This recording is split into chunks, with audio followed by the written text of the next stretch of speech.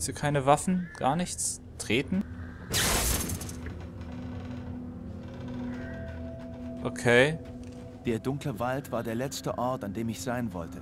Aber ich hatte keine Wahl. Ich musste zur Tankstelle. Ja, aber die Pfeile zeigen in diese Richtung. Und ich wüsste gerne, wieso sie das tun. Scheint mir Das wie eine... Licht meiner Taschenlampe enthüllte schaurige Graffitis. Jemand hatte in ihrer Nähe eine Kiste versteckt. Dieses Hauchen ist voll unheimlich. Was ist hier drin? Leichtpistole? Sehr gut. Aber ich glaube erstmal beim Revolver, weil die Leuchtpistole ist eine sehr mächtige Waffe, wie wir ja im Tutorial gesehen haben. Renne ich erstmal hier ein bisschen weg. Aber ich, nee, ich, ich spare mir besser mit dem, das Rennen, weil, äh, das ist bestimmt, äh, nützlich. Jetzt muss ich durch den Wald. Vielleicht komme ich doch zu der Tankstelle irgendwie auf diesem Weg. Oh Mann, ey. Oh. Geht mir aus dem Weg, du verdammter Axtmörder.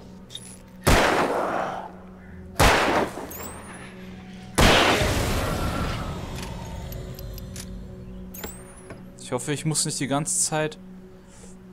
Ähm... Ich habe vergessen, was ich sagen wollte. Äh... Ja, aber auf, was macht Munition in diesem Emergency-Ting? Emergency-Ting.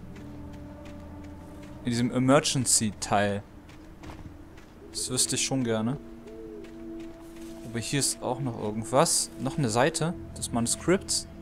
Nehmen wir das mal. Und lassen wir es uns vorlesen. Wow, das ist aber ein weiter Sprung. Rose hat Tagträume von Will. Rose wusste, dass sie in Schwärmerei verfallen war, doch das war ihr egal. Was sie betraf, war ihr kurzes Treffen mit Alan Wake der Wendepunkt in ihrem Leben. Sie sah zu, wie er mit seiner Frau ins Auto stieg. Sie war hübsch, selbstbewusst, ungezwungen in Wakes Nähe, nicht wie Rose. Sie passten perfekt zusammen. Sie hätte alles getan, um ihre Freundin zu sein. Oh, oh, das hört sich an wie so eine wahnsinnige Besessenheit jetzt schon. So, ich will dein Freund sein oder ich will deine Freundin sein. Für immer. Warum können wir keine Freunde sein? Dann muss ich dich töten, damit du tot bist und damit wir Freunde sein können. Für immer. Ah! Nee, ernsthaft, das ist gruselig. Wo müssen wir denn hier weiter? Das ist so ein Greifding. Ich nehme mal an, hier runter. Wir sollten nur aufpassen, dass wir nicht in, in Strom reinlaufen.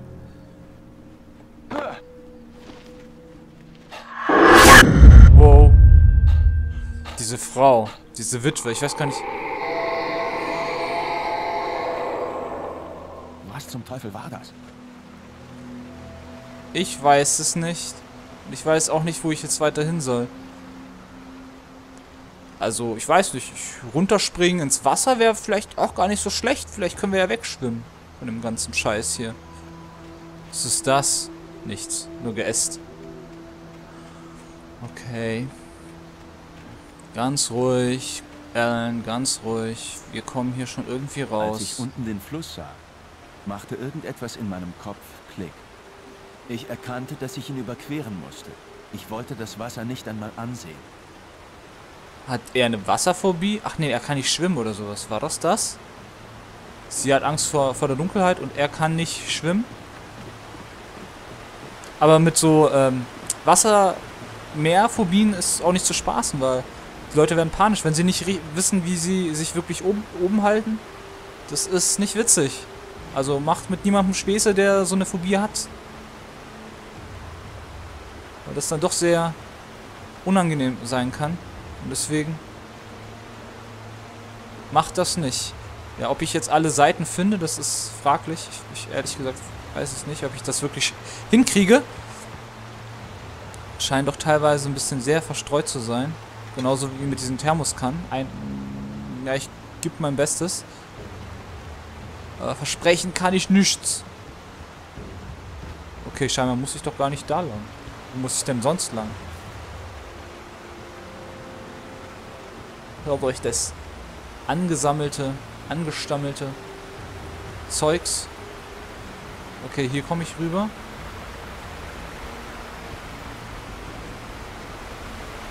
Uah. Die Tankstelle ist auf jeden Fall auf der Seite. Aber ich kann hier auch rüber. Das hält. Wow. Wow, wow, wow. Manuskriptseite. Ach, da ist eine Seite. Die habe ich gar nicht gesehen. Was ist es diesmal? Barrys Ankunft. Wer ist Barry? Ach, Barry ist, glaube ich, der Freund von, äh, von äh, Alan. Barry Wake. Wheeler war extrem nervös. Er war in den Flieger gestiegen, nachdem Al und Alice tagelang seine Anrufe ignoriert hatten. Das konnte heißen, dass sie ihre zweiten Flitterwochen genossen, aber das glaubte Barry nicht. Al war dafür zu labil gewesen, konnte nicht schlafen, war ausgelaugt. Barry hatte jahrelang Erfahrung mit Alan Wake und er wusste es einfach. Etwas stimmte nicht wie ein guter Freund es eben weiß. Oder besitzt Alan irgendwie über das Shining und kann äh, Barry rufen. Äh, kennt ihr das Shining? Habt ihr den Film gesehen? Habt ihr das Buch gelesen? Wenn ja, schreibt es mal in die Kommentare, würde mich interessieren. Äh, ich habe, wie gesagt, letztens den Film gesehen gehabt. Mit dem wahnsinnigen Jack Nicholson, der Jack spielt. Was ganz lustig war. Oder ist, dass er eben ihn spielt. Was? Oh. Oh Gott, habe ich mich gerade erschreckt.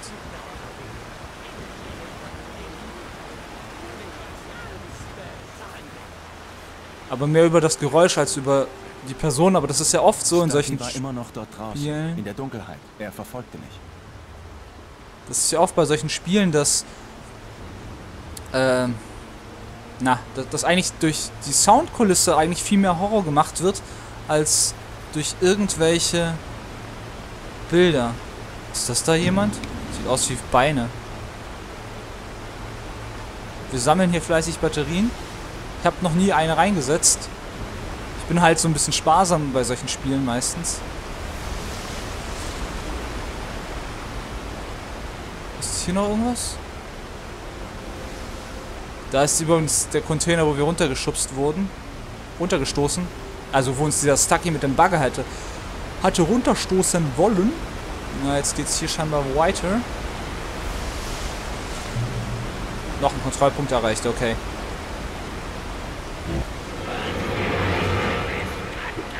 Wow, wow.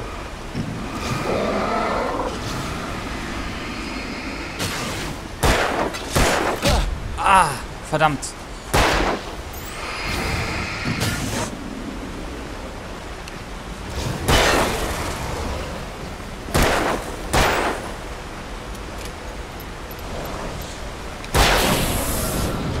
Okay.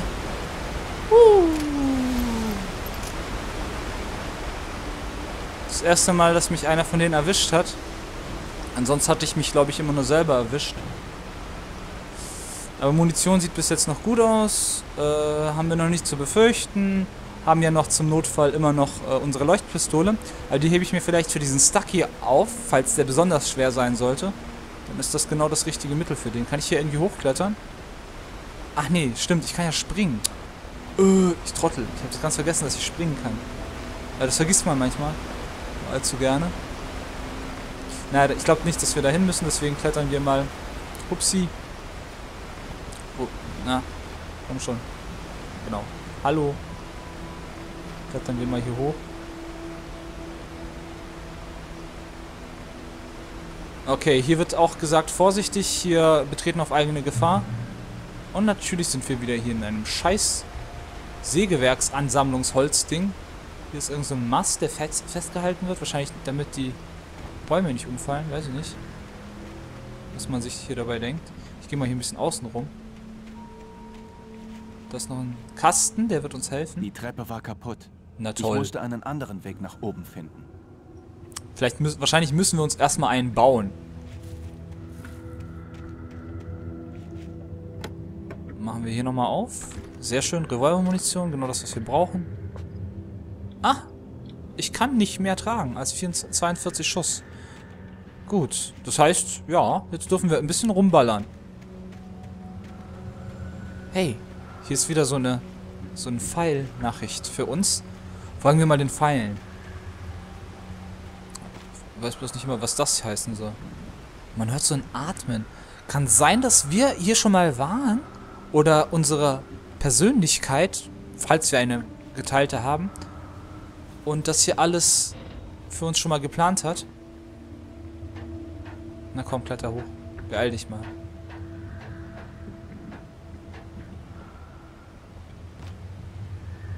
Hm, jetzt sind hier keine Hinweise mehr. Ach, da oben ist ja noch eine Hütte. Gut. Besessene, Besessene. The taken are filled with darkness. Was sollte dieser Ausdruck? Besessene, Besessene, Besessene.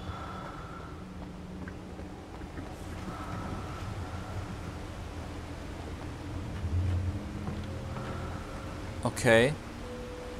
Ich weiß immer nicht, wo wir hier überhaupt sicher sein können oder ob wir hier sicher sind. Aber scheinbar versucht uns da jemand zu helfen.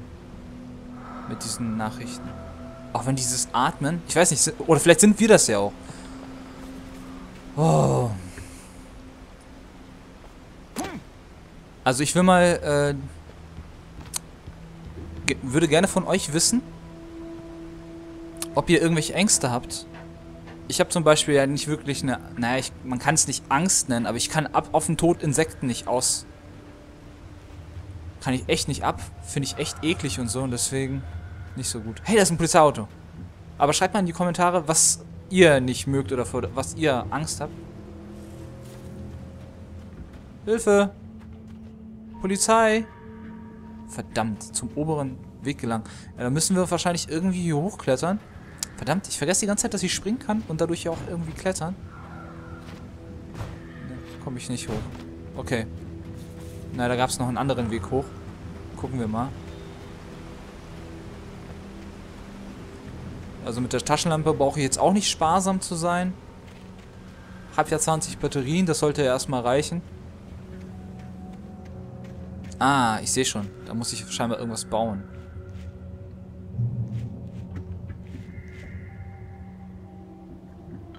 So.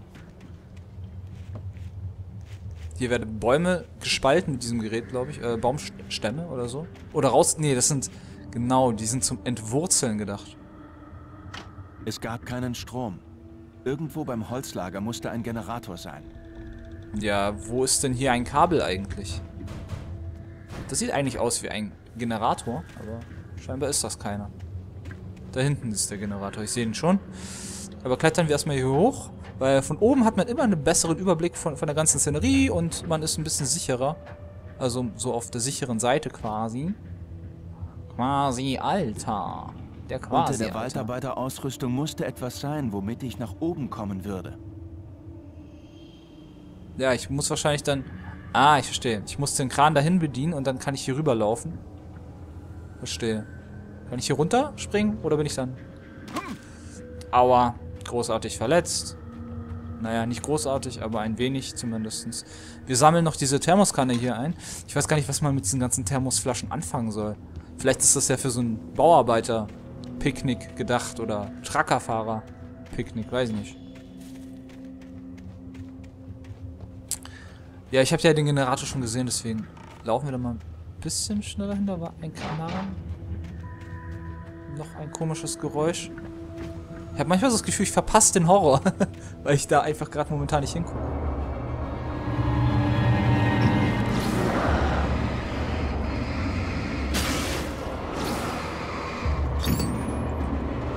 Kommt schon, ich habe keine Angst vor euch. Ich meine, ich habe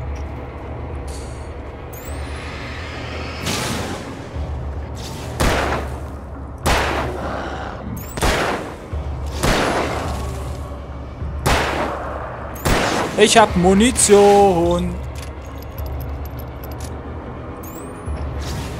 For real, mein Friend? Mein Freund.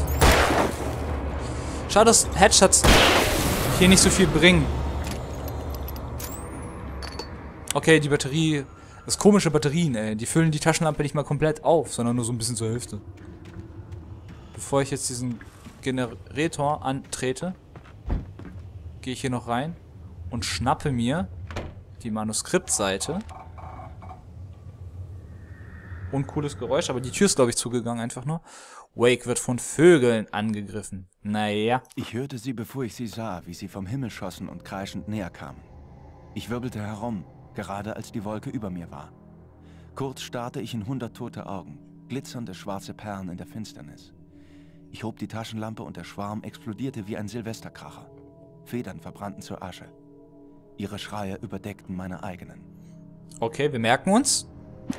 Wir können Vögel besiegen äh, mit der Taschenlampe. Eine Schrotflinte. Ausgezeichnet. Zwar nur zwei Schuss, aber besser als nichts. Aber wir bleiben erstmal bei der Waffe, bei der Pistole, beim Revolver, weil wir haben dafür Munition.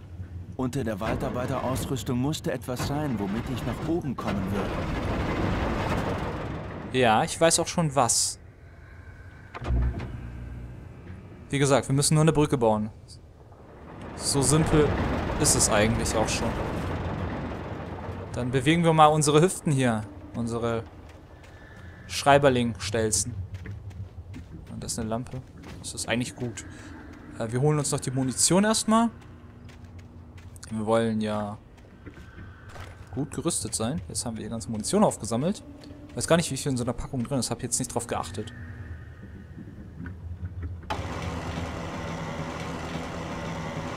Ja, wir können sie bewegen. Wir können sie bewegen.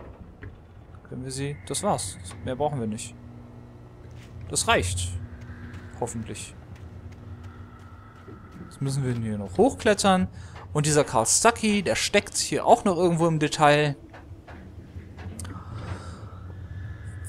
Über sieben Brücken musst du stemmen gehen und ich fall daneben, weil ich bin zu blöd zum Springen. Das liegt aber nur an der Schulter. Wechslung, weiß ich nicht. Ist ein bisschen die Steuerung. Gerade laufen ist hier schwer und es fällt mir immer mehr schwerer.